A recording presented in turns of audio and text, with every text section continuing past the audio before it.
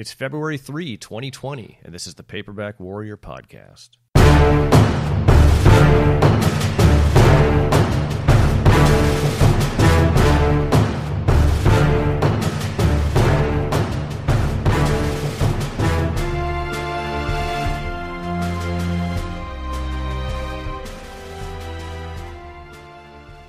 We're back for the attack.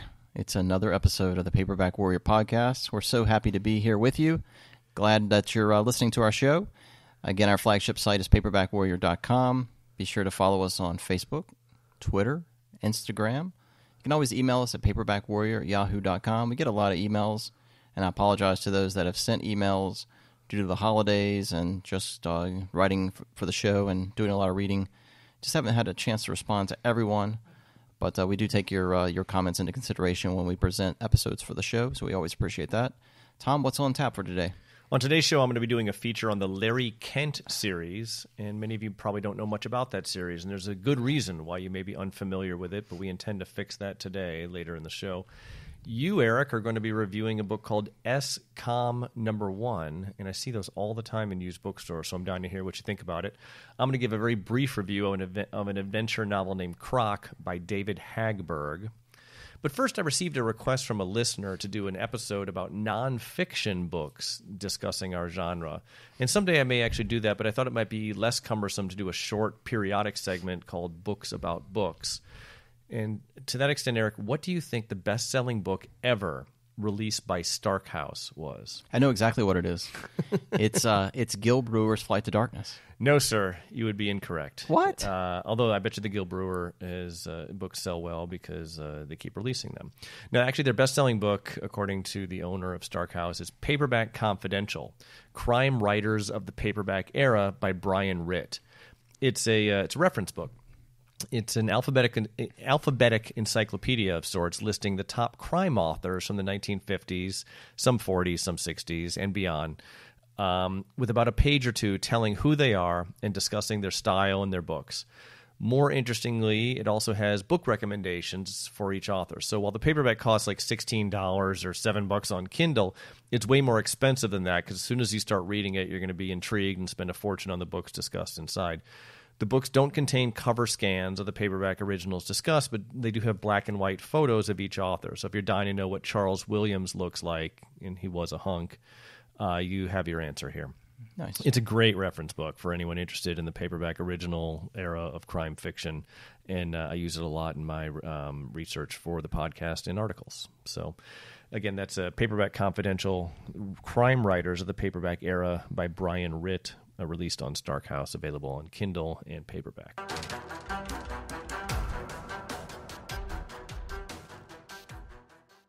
Why don't I just launch right into it? Because uh, this is sort of a complicated uh, series to talk about. It's a, uh, doing a feature on the Larry Kent series. So, Eric, if I told you there was a hard boiled men's adventure series that went on for 400 installments that you knew nothing about, would you believe me?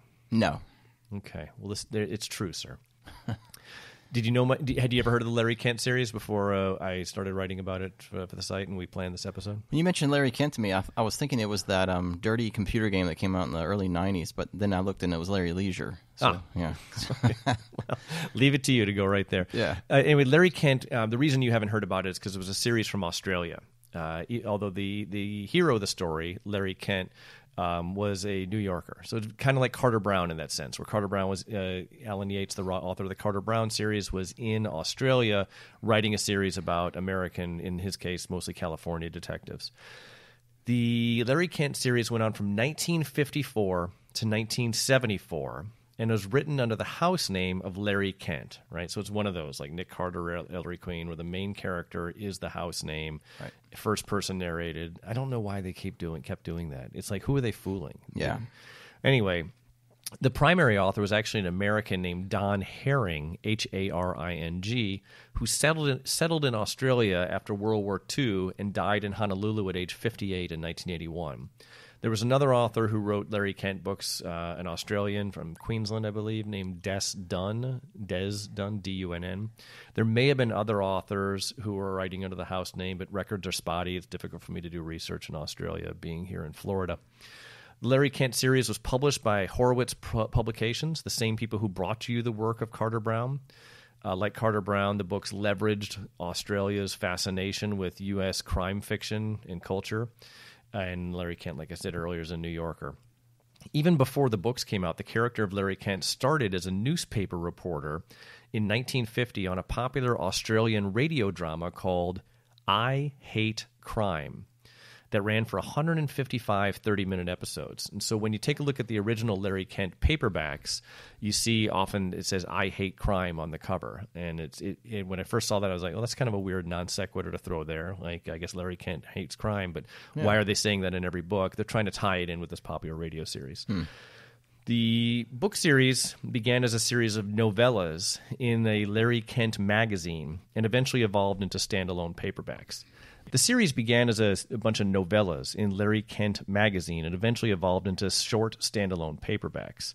Uh, like I said earlier, the paperbacks have I Hate Crime as a tagline on the covers. Kent's character in the written version became a private investigator, clearly influenced by Mickey Spillane's Mike Hammer. The uh, covers look kind of familiar, um, and because they, they were painted very salacious covers, and the titles had nothing to do with what was inside the books. Um, the painted covers had like women, super hot women, just spilling out of their clothing, very similar to the Hank Janson books of the same era. As time went on, the writers of the Larry Kent series um, of private eye novels borrowed a page from Stephen Marlowe's Chester Drum and Michael Avallone's Ed Noon when the hero began accepting espionage assignments from the CIA in selected novels. The numbering of the series is really screwy. They're numbered 1 to 800, but there's only about 400 books. The first 108 installments were novellas, and then the novels begin starting with number 500 and continuing through number 800. I can't find any record of books or stories bridging that gap between 109 and 499. If they exist, someone let me know. Um, I guess the more the merrier. Good news for us and for American readers these I've never ever seen one of these books in the wild ever. But 25 of the books are now available as ebooks from Piccadilly Publishing, available on my Kindle and your Kindle. Piccadilly Publishing is owned by Ben Bridges, uh, who's a guy whose real name is David Whitehead, and he preserved the original art for the ebooks. I read two of them to see what the fuss is all about. I want to give you capsule reviews. The first one is called Curves Can Kill it was written by Don Haring. It was number 642 in the series from 1965. It's got a blue cover and a hot babe with a big rack on it. Uh, the first, so it's a variation on the private eye as spy gambit. Way more violent than even the best, uh, um, and just t- really good. Uh, better than the best Carter Brown I've ever read. This was an awesome book. Curves Can Kill. The action opens with Larry Kent being tied to a chair and being tortured by a Romanian goon who's using both fists and a switchblade, who wants to know what Larry Kent knows about something called Z detail. It's it is brutal and violent opening. Um, it's going to play well for readers of Pulp Fiction who want like something way more extreme than Carter Brown ever would offer. Uh, fortunately, we don't have to sit through 120 pages of Kent being carved up with a switchblade. Um, we find out that Z Detail is like a private intelligence outfit with close ties to the CIA, who ends up hiring Kent as a contract operative for the vast sum of $300 a week. He needs to befriend a woman in New York. The, um, it's kind of sexy. It's not graphic in any sexual detail, but it's got a real swinging 60s feel to it toward women. None of this would actually fly today, but that's part of the fun of vintage fiction anyway, the women, the woman has a secret uh, that uh, he needs to learn, and it can just kind of go in. I guess my point, Eric, is that this book just really surprised me with the quality of the prose and the story because I had been misled to believe that the Larry Kent series was just disposable fiction, which had such an aggressive production schedule that it would never be outstanding, that it would be it was just kind of disposable pulp fiction. And instead, as I read Curves Can Kill, I found myself just repeatedly muttering, wow, this is really good. If you're a fan of violent spy mysteries with major twists and turns, you're going to love this book, Curves Can Kill. And um, there were some slow sections, but nothing ever boring in this one. It, uh, it, it, had a bloodbath of a climax. I, I guess when I'm not doing a full review of it here on the show, but I just want to impress upon you guys how good it was and why I decided to read the number 794 in the series from 1974, nine years later. Hello, Dolly, Goodbye, it's called. It was, and I thought it might be interesting because it's a more traditional private eye story. And Eric, it was terrible. Mm. It was so bad, and I had to read the first chapter three times just to understand what was going on. It was so unclear what was happening. As far as I could tell, Larry Kent in this book, Hello Dolly Goodbye, was hired by the NYPD to investigate two missing police officers, which makes no sense on its face, right? The NYPD has Right. people capable of investigating stuff. He's given a short list of names that the two cops were investigating, but it's never really explained what this list of names was in what case they were investigating. It may have had something to do with alien smuggling, but it wasn't clear. The era that the book took place was all mixed up. So the paperback was published in Australia in 1974 and takes place in New York City. But on page one of the book, a character says, quote, The cop is a client. Write down in your client's book, 20th of May, 80. Does this take, book pa- take place in 1980? Does it take place in the future? Everyone in the book speaks in in like a 1940s vernacular and wears fedoras. There's a reference to a boxer named Sonny Liston, who was an American boxer who competed from 1953 to 1970. I don't know what to make of any of this. I guess it doesn't really matter. The paperback, the paperback just felt very unstuck in time. In addition to this opaque plot where I never knew what was happening. Now, in its defense, there were some great scenes where Larry Kent gets to kick ass. The hard boiled PI dialogue was really excellent. The plotting was just a disaster. The only thing I could figure is that Larry Kent series was probably winding down by 1974, and Don Haring just was phoning it in to fulfill his contractual obligations because Hello Dolly Goodbye is a total mess. I'm not, however, giving, giving up on Larry Kent because I've seen how good the series can be because Curves Can Kill was a masterpiece. Um, so going forward, I'm going to avoid 1970s installments unless I get a solid tip on a particularly good one from that era. Uh, David Whitehead has provided me with a handful of them as, as review copies that I'm going to read um, or and continue reading and reviewing. Um, I, I beyond once I kind of get rid, finish up with the 25 that Piccadilly Press uh, does. I don't know what I'm going to do because I'm not going to go to Australia or send away and spend a fortune on these things. They're they're still rather disposable. But um, I was so impressed with that one that I read, and so disappointed by the one that was terrible. I don't know which one is Larry Kent. I don't know which one's the real guy. I would say the third book that you're going to read is going to be the uh, the the tip of the balancing point. I think so too. I'm tempted to go the one that I, the Curbs Can Kill. He's working for this private agency, uh, like one of these private intelligence agencies run by rich people. I want to read one of his actual CIA novels, and I think I have a couple of those picked out as well. Nice. Okay. All right. anyway, so that's the Larry Kent uh, series, worth checking out. It's an Australian series. Uh, the books are available. Twenty-five of the books are available on Amazon, uh, with Curves Can Kill being the best of the two that I've read. And so, why don't we switch gears and you could tell us about SCOM? Okay. So um, I'm going to ask you a question. Lay it on me. In the 1980s, can you remember when Warner Books did their Men of Action line? I do. It- what happened, as I recall, is uh, they had a hit on their hands with Dirty Harry, the movie. And then they spun off and did a Dirty Harry book series, and those were tremendous of, of original men's adventure fiction in the Dirty Harry universe, starring Harry Callahan. And then Warner Brothers or Warner Books felt, wow, we we you know started looking at all the money being made by Pinnacle and probably Gold Eagle, and said, okay, well let's we can do a Men of Action line of books. And so I think SCOM was one of those titles, and there was another one called CAT, C A T, Crisis Aversion Team, Yeah. that went on for two, maybe three books. I reviewed one; it was okay, but wasn't good. The series was a financial disaster, and they shut down. I guess the good news though is Warner's been making a lot of their Men of Action books available on um, as ebooks, but I can't imagine they're Right. making, making any money. Okay. Anyway, but SCOM's from that era, right? Exactly. Yeah. So uh, that's kind of setting the table for uh, uh, for this uh, debut installment uh, of SCOM. So by the early 1970s, I think the team-based combat theme had become a popular market for the men's action adventure paperbacks to explore. The idea, I'm assuming, is probably stemming from all the the World War II and and military fiction that ran through the serials and the and the magazines and even the comic books. But I think it became increasingly more prevalent after Don Pendleton's second Executioner installment, which was called Death Squad. I think at that point, everyone kind of jumped on the bandwagon and said, hey, let's run with the Team Commando theme. By the 1980s, this subgenre was huge. We had like SOB, MIA Hunter, We had Phoenix Force, Able Team. The list goes on and on and on. So, like Tom had mentioned earlier, Warner Brothers launched their Men of Action line of paperbacks, and one of the creations was this obligatory team-based series called S-Com, which is short for Strategic Commandos. The publisher hired freelance writer Robert McGarvey to author all six volumes under the house name of Steve White. The series debut, Terror in Turin, was published in 1981. First off, I don't think Robert McGarvey ever wrote anything else other than these six volumes uh, within the fiction realm.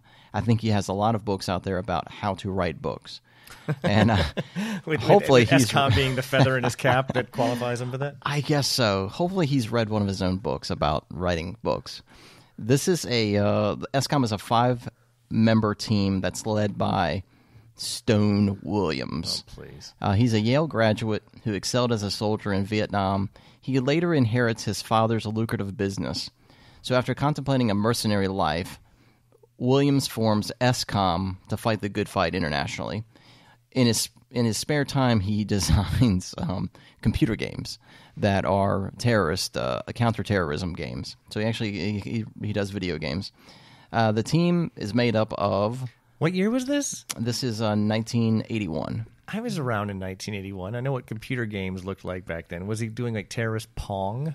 Yeah, it was like little. I, I could imagine like little stick figures that were like running behind little buildings. things So- like sorry that. to interrupt. Yeah, Please it's terrible. Continue. Uh, so the team is Miles. He's the African American. Uh, he served with Williams and Nam. His specialty is martial arts. We have Leah or Leia. She's Israeli. She's the only female member. She does acrobats and she throws Chinese throwing stars. Lucky, he's the Cuban defector, and his specialty is explosives. And you have Rod, who's the Australian mercenary. He's your big guy. He's the comedic big big dude. So you got uh, like a really good force here, including Stone Williams. I mean, this is a this is a, uh, a formidable fighting force. The terror in Turin stems from a terrorist group called the Seventh Mayo Force. Its leader is a dude named Vincent Teresio. Uh, he introduces the author introduces readers to this uh, communist ideology that led to uh, basically the blowing up of this Italian post office. So Seventh uh, Seventh Mayo Force, led by Vincent Teresio, blows up the post office. Uh, Teresio is partnered with his girlfriend Gina, and then they go out and they murder Turin's police chief, and then they celebrate by going to the the grocery store and stealing a bunch of bread and wine, and they go back and, and have like a little a celebratory dinner. But the problem, Tom, is that the Seventh Mayo Force is this guy Teresio and his girlfriend Gina. And guess what? Their entire fighting force is one AK 47 rifle that they've somehow inherited from some communist guerrilla. They have one rifle, they have a box of ammo. They stole dynamite from a construction site to blow up the post office. The 7th Mayo Force is an 18 year old kid, Vincent Teresio. There- Some, some force, huh? there's nothing else. So you have this five member team of SCOM that gets assigned to go fight the 7th Mayo Force. It's literally like bringing a bulldozer in to plant a, a daffodil. It's unbelievable. Overkill. Think about how easy it would be for the author to come up with a, a villain. I mean, he, he can come up with anything. Instead, he chose a pimply faced teenager. And the kid is, he's a horn dog. All he wants to do is go out and rape people, right? He's got Gina on the side, but he wants to go out and rape these girls. So he ends up kidnapping, uh, I don't know, the police chief's daughter. Oh, no, no, he, he ends up, I know what it is. He, he ends up uh, kidnapping the daughter of a wealthy Italian auto company uh, founder. And so he, he goes out and, and, and kidnaps this girl. Anyway, SCOM gets the call. Stone Williams thinks that this is going to be a great assignment to to test his skills. So they go out after this this Vincent Teresio's Seventh Mayo Force. Dude, there is nothing happening the first 154 pages of this book. After the blow up of the post office, Teresio literally just hangs out in an abandoned house and fondles Gina and thinks about uh, raping uh, the girl that they kidnapped. 154 pages. Finally, on page 155, SCOM arrives to fight Teresio. There's only 159 pages in the book, Tom. Oh, my heavens. The last four pages are SCOM fighting uh, Teresio, and they do this by showing up at the house and just shooting. Uh, just remember, there's a a, uh, a a kidnapped daughter of a wealthy uh, Hey, you don't want to kill uh, Ferrari's daughter. He's she's in the house, and they show up and just start shooting at the house randomly. Somehow they don't kill this girl. Uh, it's a turd. Terror in Turin is a turd. I would. I'm going to say that this is going into the Hall of Shame. all right. First en- first entry of the year. First entry of the decade. Uh, don't waste your time reading this. I know you you've probably seen these in the bookstore. Um, God, this was horrible. Oh, I'm sorry to hear that. So that's SCOM number one, and it's a real turkey. Who is the author? Uh, Who's the author on the cover? Um, The uh, it's uh, it's Robert McGarvey. Robert McGarvey. Don't ever read anything Robert McGarvey ever wrote. You have my word. You have my word. All right, so that was SCOM number one. Uh, don't read it. Uh, we're going to shift gears a little bit. Uh, before I get into the review, and I promise there's a method to this madness, have you ever seen this Nick Carter book? I've never seen that Nick Carter book. Okay, it's Nick Carter number 109, Sign of the Prayer Shawl, written by David Hagberg. Take a look at the cover and tell me what's depicted on that cover. This is from 1976. Jeez, it looks like 9/11. Yeah. There's uh, the World Trade Center blowing up with by an airplane. Yes, airplanes flying into the World Trade Center in a Nick Carter Killmaster book from 1976, written by David Hagberg.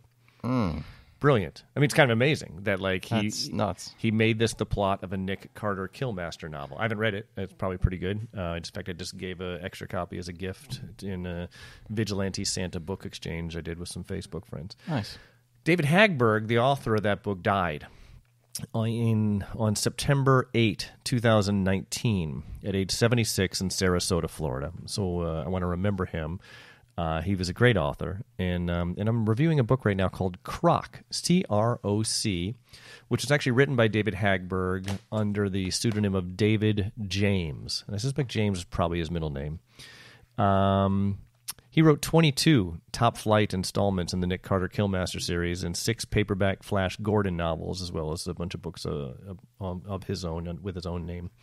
In 1976, low end paperback publishing house Belmont Towers released an early career Hagberg thriller called Croc under uh, the David James name. Now, in, 19, this, in 1970s, the public's imagination was captured by urban legends about kids flushing baby crocodiles down the toilet and the reptiles growing to giant size in the sewers by feasting on rats and other vermin. Hagberg's take on this is um, stars two New York City Division of Sewer maintenance workers who handle maintenance and upkeep in the labyrinth of tunnels under the Big Apple streets. In the first chapter, the partners are investigating a cave in in an old sewer tunnel where runoff flows into the Hudson River. One of the workers goes beyond the debris pile to further investigate it when he is eaten by a giant reptilian creature while his partner watches in horror from a safe distance. It's actually a very bloody, scary, and violent scene that sets up the action for 211 big font pages to follow. Hagberg trots out a lot of genre tropes in this one. There's the 38 year old college educated supervisor who's always riding his workers' ass about this and that. We have a screw up cop assigned to investigate the missing workers in the sewers. We have the investigative reporter from the New York Post hip deep in the story and sewer water determined to get the full scoop. It's also important to remember that Hagberg wrote Croc during the height of the Jaws craze, and he borrows a lot of the same themes from Jaws, including the bureaucratic skepticism of the threat. Um, and, uh, and it's just a very, very fun reptile based thriller. Good news is that Hagberg had excellent plotting skills, even in this very early effort. Uh, the paper book has beautiful cover art and, uh, and a great basic premise. And Croc was just a hell of a lot of fun to read. You're not going to want to break off into discussion groups and talk about it or, or launch a podcast to discuss Croc, notwithstanding the fact that that's what we're doing now. But it was never dull or repetitive, and it's totally worth seeking out. Um, if you go into it with the right attitude, you're just going to enjoy the heck out of this book. It's uh, in takes place in this underground labyrinth of sewers where uh, sewer workers and cops and reporters are battling a giant prehistoric-sized crocodile that has grown to massive size in the sewers and presents a threat to all good people in the sewers everywhere. Tom, growing up in the uh, late 70s and 80s, my favorite subgenre of horror movies is the killer animal genre. There was Oh. um, Grizzly, Sure. uh, S- Squirm, which was about killer worms, Uh-huh. Orca, which was about a killer whale. Right. There's The Pack, which was about killer dogs. Did you ever read Feral? F E R A L. It's about killer cats, like house Killer cat. cats? It's basically like like Daphne du Maurier uh, heard the birds, but instead of birds, it's cats. I read it when I was like nine. It scared the living heck out of me. And I just found a, a, a used copy and gave it to my son, where it's collecting dust on a shelf. Do you remember uh, Naked Gun? Yeah, sure. Okay, so uh, it was Leslie Nielsen was the uh, Yeah, the actor? Leslie Nielsen. Yeah. The greatest scene in 80s um, cinema history is in the movie Day of the Animals. Leslie Nielsen is like this uh, park guy, and he fights condors. it's amazing. That's so funny. Um, in fact, I, I was going to ask you the pack, which is about the killer dogs. Yeah, is- I got a copy of that. Yeah, Long Dark Night, I think, or Long Cold Night, or something like that, Yes. by David Fisher. Mm-hmm. Is that in our wheelhouse to, to Oh, review? definitely. I think I think any adventure novel, um, you know, like I think the there's a whole area. Uh, yeah, the answer to your question is yes. W One, because we get to make the rules. Two, because it's an adventure novel. Is It's it def- an adventure novel? Though? He's he's just fighting a pack of wild dogs. Yeah, but there's nothing wrong with that. What's the difference between fighting IRA terrorists and a pack of dogs, or, or, or, or, or reanimated Nazis, or any other stuff we're uh, we're reading? So we get to make the rules. That's it. I think there's also a subgenre of natural disaster books that I like to get Yeah. into. You know, the earthquake, hurricane, tornado uh, type books, and um, and there's just tons and tons of those. I mean, listen, we get to make the rules. It's our podcast, our website, and uh, as long as we don't diverge too much. I mean, if we if you decided you wanted to make it a fantasy and science fiction site, we'd have to have an off-air conversation about whether this makes sense for the brand. Okay. But man, as far as action novels where people are battling uh, battling like swarms of ants or killer funguses and stuff like that, go for it. Okay, I'm going to ask you about two books Oh, that I see laying over here. oh boy. The first is uh, something called Double Trouble that you've got laying over there. Oh yeah, let, let me get off mic for two seconds to lunge across the poker table and grab it. Yeah, what is that? Double Trouble. I thought it was, in, in fact, I think it's um the the Chester Drum Shell Scott team up, right? It is not. Oh. Uh, this particular Double Trouble is a um, nonfiction book by someone named Sheldon Jaffery, J A F F E R Y.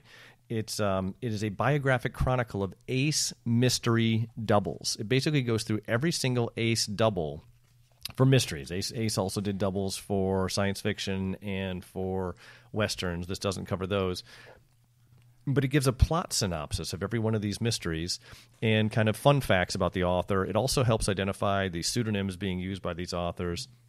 I got a lot of ace doubles, and they're of varying quality. And so I always use this book before I actually read one to figure out who the author is and if there's any fun facts. It's still available. It's kind of a print on demand thing. It's sort of cheaply made. There's no pictures other than um, some sort of mediocre cover art. But the um, but man, oh man, it's a great reference book, and I recommend it highly. It's called Double Trouble by Sheldon Jaffery. So I was sitting here and looking at your uh, book collection, and there was a really thick book that was sitting in there, which is unusual. And it's also a Fawcett Gold Medal, which is even more unusual. They don't put out thick books. This is by an author named A.J. Quinnell. The name of the book is Man on Fire. So my immediate question is: Is this the Denzel Washington film that I'm thinking of? Yes. This- Yes, it is. It And was it- based on this no- this novel. Yeah, yeah, and it, it's supposed to be a great book. I have not read it. Uh, people who don't read a whole lot of books have read this book and said, "Wow, it's terrific." And so um, the size of it is not it's not intimidating to me, but it's going to take me uh, as long as to read two or three books. But yeah, it's basically it was made into a movie with Denzel Washington that I haven't seen and know nothing about, and I don't want to see the movie or know anything about it until I get a chance to read the book. But people tell me it's one of the best books. Okay, now I'm really confused. So this particular printing came out in 1987, but on the cover it says now a major motion picture. Was Oh, it? it's been made into a movie more than once. Oh, really? Yeah, Okay. Denzel Washington. Uh, the mo- I don't know who was starred in the first movie, but the Denzel Washington movie was a remake of an earlier version of it of the movie. But the book came first before any of them. In fact, I think it may be a series where the uh, AJ Quinnell has other books in the series starring the same dude. I suspect that's the first one, but in any case, I'm positive that one stands alone nicely because people that I work with have read that. They know that I'm into books from that era, and they're like, "Oh man, you got to read Man on Fire; it was so good." And, and I always look at them like I didn't know that they read anything, and uh, and but they seem to like that book. Yeah, yeah, okay. If you want to tackle it before I do, please be my guest. How are we doing on time? Yeah, I got about two minutes. Uh, I'm out, I'm out of things to talk about. I, I, I mentioning um your little story there about people ta- talking to you about books. Uh, somebody told me, I guess this was maybe about six months ago.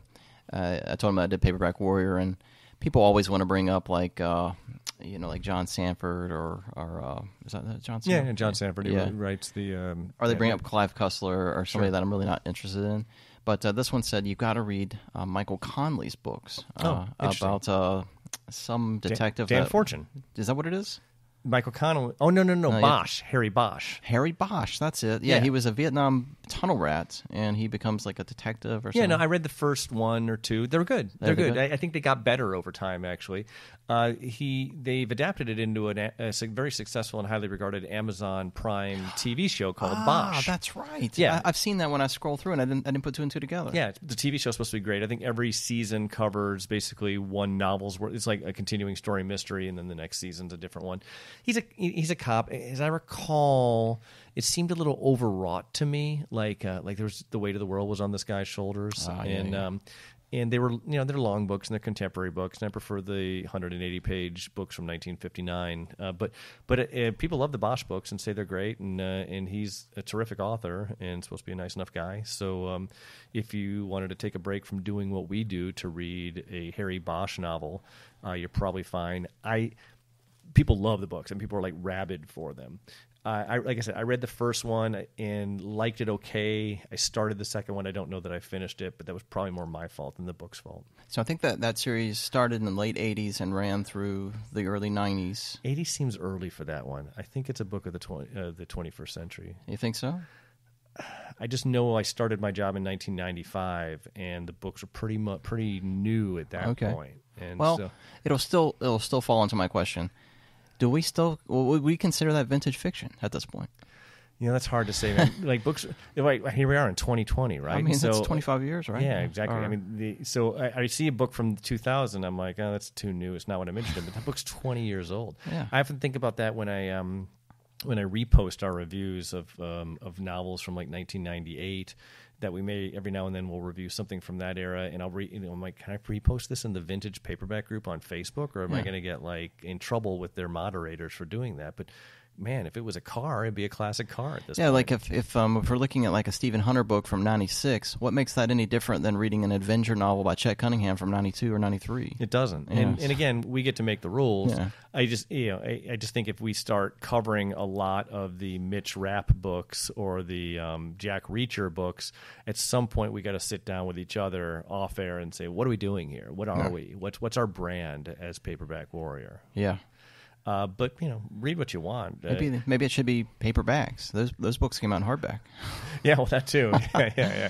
We're, uh, um, yeah, it's, but um, I, I don't have any problem with those books or people who enjoy those books. It's just, I don't like the size of those books. I think at some point books became artificially inflated to 400, 500, 600 pages, not because the author needed that many pages to tell a story, but because the publishers knew they could command 1895 for a hardcover that that was that size, and people don't want to pay that for a 180 page book. I really feel strongly that if you can't tell a story in less than 250 pages, um, you know, we, you need to reevaluate your story. I'm like that with um, Stephen King. I love his writing, but I almost have to warn my family, "Hey, I'm getting ready to start a Stephen King book, and this is going to take a month of reading." Yeah.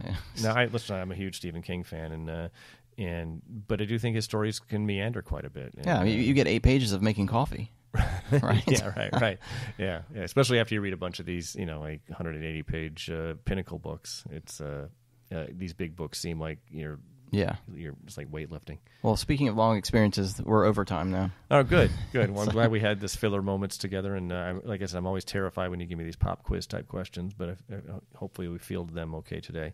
So I want to thank everybody for joining us, and jo- please join us next week for another episode of the Paperback Warrior podcast. And visit the website paperbackwarrior.com. In the meantime, thank you so much. Bye bye now. We'll turn the page next week. Turn the page.